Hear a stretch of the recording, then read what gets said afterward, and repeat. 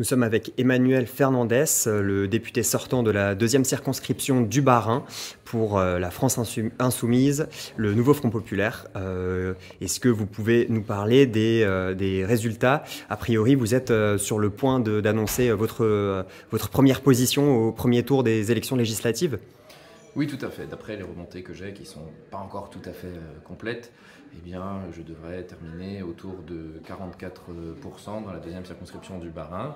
Euh, et puis, avec euh, une deuxième position pour la candidate macroniste de l'ex-majorité présidentielle, qui arriverait autour de 22%, et le Rassemblement national juste derrière avec 21% après. Donc c'est un, bon résultat pour votre circonscription.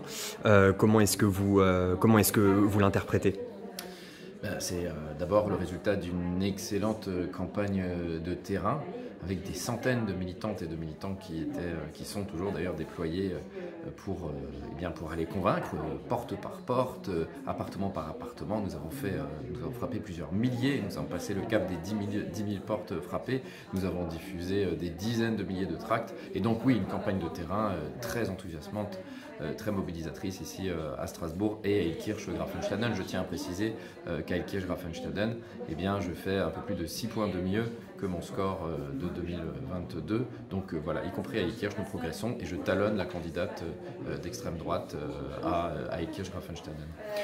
Qu'est-ce qu'il va falloir faire maintenant pendant cette seconde, cette, seconde phase de la campagne qui s'ouvre? Il faut discuter à l'échelle nationale avec, avec des, députés Renaissance ou des candidats Renaissance pour essayer de faire un barrage efficace à l'extrême droite?